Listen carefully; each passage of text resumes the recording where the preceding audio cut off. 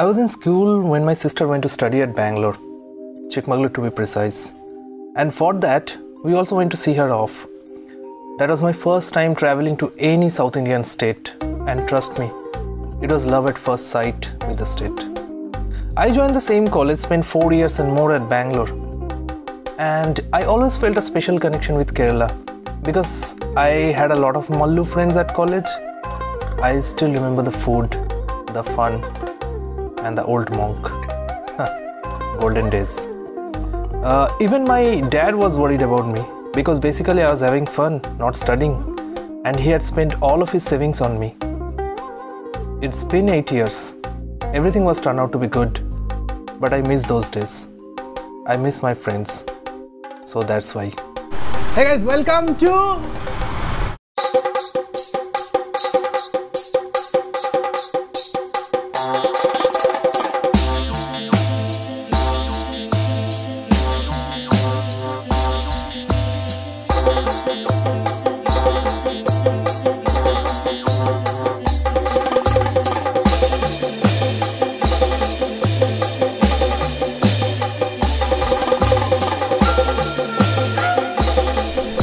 Kochi. Kochi day one এখান থেকে শুরু হচ্ছে, আর এই পিছনে যে হোটেলটা, এই হোটেলটাতে আমরা এখানে আছি। এই হোটেলটা এয়ারপোর্ট থেকে প্রায় এক ঘণ্টা, চল্লিশ চল্লিশ থেকে পঁয়তাল্লিশ kilometre. R why we selected this hotel because খুবই ভালো হোটেল কিন্তু এক্সেলেন্ট কন্ডিশনে হোটেলের রুমের ট্যুরটা ট্যুরটা তো আপনারা দেখবেন, আর সেটা দেখে আপনারা নিজেরাই জাজ করবেন। আর সেকেন্ড কারণটা হচ্ছে, এখান থেকে খুবই যে কোনো ট্যুরিস্ট স্পট খুবই কাছে। আরে, ভাই, এটা নেক্সট ইয়ার নেক্সট ইয়ার আসছে।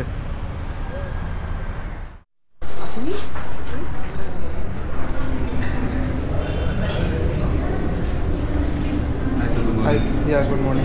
What do you have? In this Kerala vlog, we are going to meet many people. So let me introduce you with the first person. He is an engineer. He is successfully running three hotels, two with partnership and one is proprietorship. He is originally from Calcutta, now stays as Kerala. For breakfast, Uh, buffet. It's buffet, right? Okay. Uh, so we are starting three people. Yeah. তো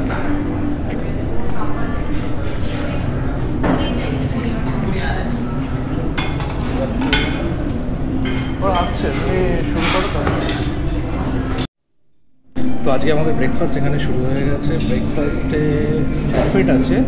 তো Kent আছে ব্রেকফাস্টটা এরকম হয়। ওদের পাশেই একটা hotel আছে।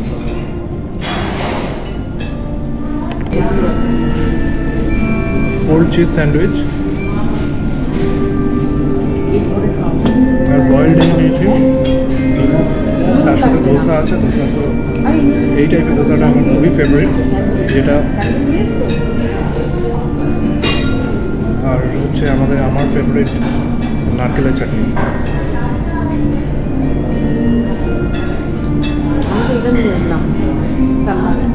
এটার সাথে নারকেলের চাটনিটা দারুণ। তো ব্রেকফাস্ট কমপ্লিট করার জন্যে সবসময় যেটা প্রয়োজন সেটা হচ্ছে একটা অমলেট এটা ছাড়া ব্রেকফাস্ট কমপ্লিট হয় না। তো এখানে মোটমাট আমাদের সবারই ব্রেকফাস্ট কমপ্লিট হয়ে গেছে। খাওয়া দাওয়া মোটমাট কমপ্লিট আমরা এখন আর আধ ঘণ্টা বাদে এখান থেকে বেরিয়ে যাব। বেরিয়ে গিয়ে শুরু হবে আমাদের Kochi tour for any successful trip there R two things which depends on them first one is the weather and the second one is the transport which you have booked. Meet Sahal, who is driving us in our whole tour. For Sahal, driving car is not a job, it's his passion, which he told me later on the trip. And at that moment, I knew that I got a very good guide for my tour.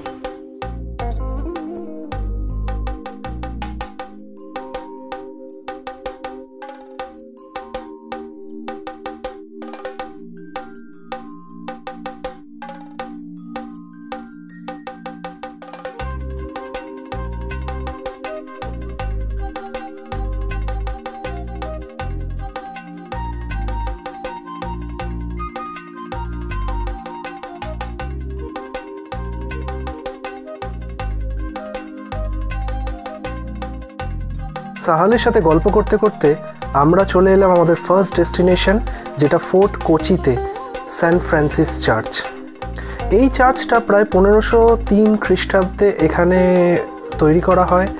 আর এখানে Vasco da Gama যখন মারা যায়, তার প্রথম সমাধি এখানেই দেওয়া হয়েছিল। পঁচিশে ডিসেম্বর মানে চার্চ তো যেতেই হবে। আর সেই ট্রেনটাকেই বজায় রাখলাম এবার আমাদের প্রথম ডেস্টিনেশন ভিজিট করে। আজকের দিনটা ছিল পঁচিশে ডিসেম্বর, তাই চার্চ ভিজিটটা ছিল মাস্ট।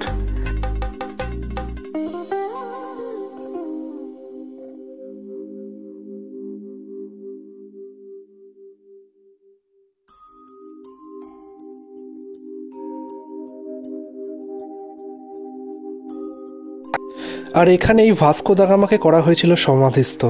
সেটা ছিল পনেরোশো চব্বিশ খ্রিস্টাব্দ, তার চোদ্দ বছর বাদে ভাস্কো দাগামার সমাধি এখান থেকে তুলে নিয়ে চলে যাওয়া হয় পর্তুগালে।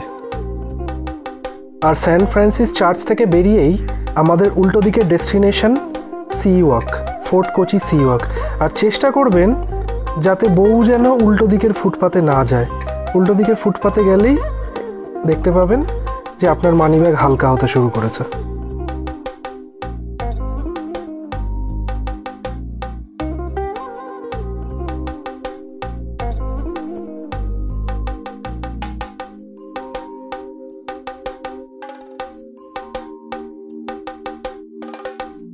আর স্যান ফ্রান্সিস চার্চ থেকে আপনি যদি একটু এগিয়ে যান, এগিয়ে গিয়েই ওর উল্টো দিকে হচ্ছে আপনার ফোর্ট ক্রোচির সি ওয়াকটা এটা একটা অসাধারণ জায়গা। পঁচিশে ডিসেম্বর হওয়া সত্ত্বেও এখানে লোক সংখ্যা অ্যাটলিস্ট আমাদের চিড়িয়াখানার মতো অত ভিড় ছিল না। তো এখানে আমরা অনেকটা সময় কাটিয়েছিলাম। এখানে আপনি সি ওয়াক ধরে অনেকটা এগিয়ে যেতে পারেন। আর এগিয়ে যাওয়ার পরেই আপনি ওখানে পাবেন হচ্ছে চাইনিজ নেট সেই চাইনিজ নেটটা আপনি ট্রাই করতে পারেন। ওটাও একটা কিন্তু খুব অসাধারণ অ্যাক্টিভিটি যেটা আপনি করতে পারতেন। কিন্তু এই ট্যুরে আমরা সেটা করিনি, কারণ আমাদের কাছে সময়টা অনেকটা কম ছিল। আর আমার মাদার ইন ল যেহেতু হুইল চেয়ারে তাই অতটাও দূরে গিয়ে, হেঁটে গিয়ে ওই জিনিসটা করাটা সম্ভব ছিল না। তাই আমরা এখানে চারদিকে ঘুরলাম, ঘুরে নিয়ে প্রচণ্ড খিদে পেয়েছিল। তাই এগিয়ে গিয়ে আমরা যেটা প্রথমে ট্রাই করলাম, এখানে খাওয়ার প্রচুর স্টল আছে। আমরা যেটা প্রথমে ট্রাই করলাম সেটা হচ্ছে ম্যাঙ্গো কাটা ফল খাওয়া কতটা উচিত না, কিন্তু ওই কাঁচা আম, নুন নুন আর কাঁচা লঙ্কা দিয়ে দেখে আমার কিন্তু দারুণ লাগল।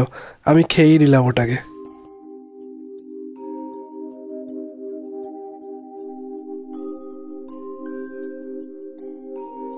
একটা জিনিস যেটা দেখলাম আমাদের বাংলার প্রচুর লোক কিন্তু কাজের সূত্রে কেরালায় থাকে। এই যে দুজনকে দেখছেন, এরা দুজনও বাঙালি। এরা দুজন এখানে প্রতি রোববার করে চলে আসে মাছ ধরতে। কারণ বাঙালি মানে তো মাছ খেতে ইচ্ছা হবেই। তাই কেনার থেকে এরা ধরে খেতেই পছন্দ করেন।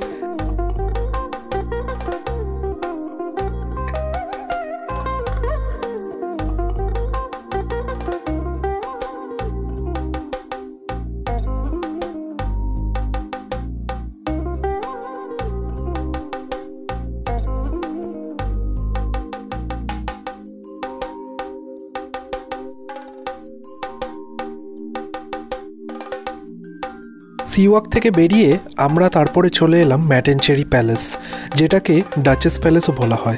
এই প্যালেসে একটা দুঃখের বিষয় হলো, ভেতরে আপনি ফটো তুলতে পারবেন না। মানে ভিডিওগ্রাফি অ্যালাউ না ভেতরে। তো সেই কারণে আমি এর ভেতর ঢুকেছিলাম, কিন্তু এর ভেতরের ভিডিও আমি দেখাতে পারব না। আর এখানে ঢুকতে গেলে লাগে হচ্ছে দশ টাকা এন্ট্রি ফি পার পারসন আর এখানকার পিছনেই হচ্ছে আরও যে দুটো দেখার জায়গা আছে, সেটা হচ্ছে সেনেগক আর আরেকটা হচ্ছে জুস টাউন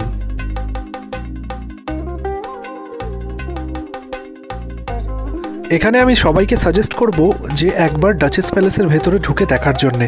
কারণ এর ভেতরে যে ঐতিহ্য আছে, সেখানে আপনি যেরকম আমাদের কোচির রাজারাজদের জামা কাপড় থেকে শুরু করে তাদের যে জীবনের লাইফস্টাইল সব কিছু তারা যে ইউজ করতো সেই তখনকার দিনের, সেগুলো এখানে দেওয়া আছে।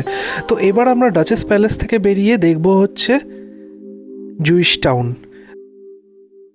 এই জুইশ টাউনে আমাদের যত হাজব্যান্ড আছে, তাদেরকে আমি একটা সতর্কবার্তা দিয়ে দেবো যে যতটা সম্ভব পারবেন বউর থেকে দূরে দূরে হাঁটবেন, ঠিক আছে? যদি বউয়ের কাছাকাছি হাঁটেন, তাহলে দেখতে পাবেন আপনার পরের মাসের ক্রেডিট কার্ড বিল আর আপনার মানি ব্যাগটা কীরকমভাবে হালকা হয়ে যাচ্ছে। দেখুন, আমিও কীরকম বউয়ের থেকে সবসময় দূরে দূরে থাকছি। সো কায়দা করে মানি ব্যাগ বাঁচিয়ে ইন্দ্রাণীকে ইগনোর করে আমি এগিয়ে চললাম আমার জু টাউনটাকে এক্সপ্লোর করতে। সো এখানে আপনার যদি মার্কেটিং করার ইচ্ছা থাকে, আপনি এখানে জু টাউনে আসতে পারেন। এখানে মার্কেটিং করতে পারেন, এখানে অনেক কিছু জিনিস পাওয়া যায়। আমি একটু ফুড কিছু খুঁজছিলাম, যেটা আমি এখানে অতটা দেখতে পেলাম না। কিছু, কিন্তু কিছু ক্যাফে আছে এখানে ক্যাফেতে আমি ম্যাক্সিমাম দেখলাম কিছু জুস আর স্যান্ডউইচ টাইপের আইটেম পাওয়া যায়। আর সেগুলো এখন আমার লাঞ্চের টাইম হয়ে গেছিল, তাই আমাদের অতটা ওটা খাওয়ার ইচ্ছে ছিল না। সো জু টাউন আপনার খুবই ভালো লাগবে যদি আপনি শপিং করতে ভালোবাসেন। সেটা ছাড়াও এখানে হেঁটে যেতেও আপনার খুব দারুণ লাগবে। কিন্তু আমি সাজেস্ট করব যদি জু টাউন ঘুরতে আসেন, একটু বিকেলের দিকে আসুন। বিকেলের দিকে আসলে এখানে খুব ভালো লাগবে আপনাদের। কিন্তু দুঃখের বিষয় হচ্ছে আমরা সেনেগকটা দেখতে পেলাম না, কারণ ওটা বন্ধ হয়ে গেছিল তখন। সেই দিকে আর আমি অত খেয়াল করিনি কেন বন্ধ হয়েছে, তার রিজনটাও আমি আর অত গিয়ে দেখিনি। সো এখান থেকে আমরা এখন চলে যাচ্ছি রিটার্ন করছি আমাদের হোটেলের। আর সাথে থাকুন, দেখতে থাকুন।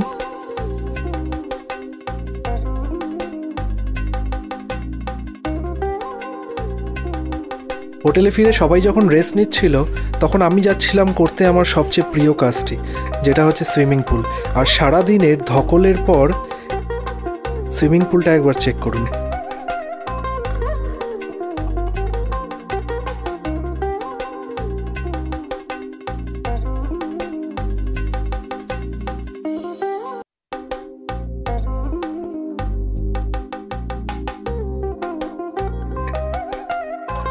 সো এই ভ্লগটা যদি আপনাদের ভালো লেগে থাকে, তাহলে লাইক অ্যান্ড সাবস্ক্রাইব করবেন। পরবর্তী ভ্লগ পরবর্তী ডেস্টিনেশন আবার আসবে। দেখতে থাকুন। Thanks for watching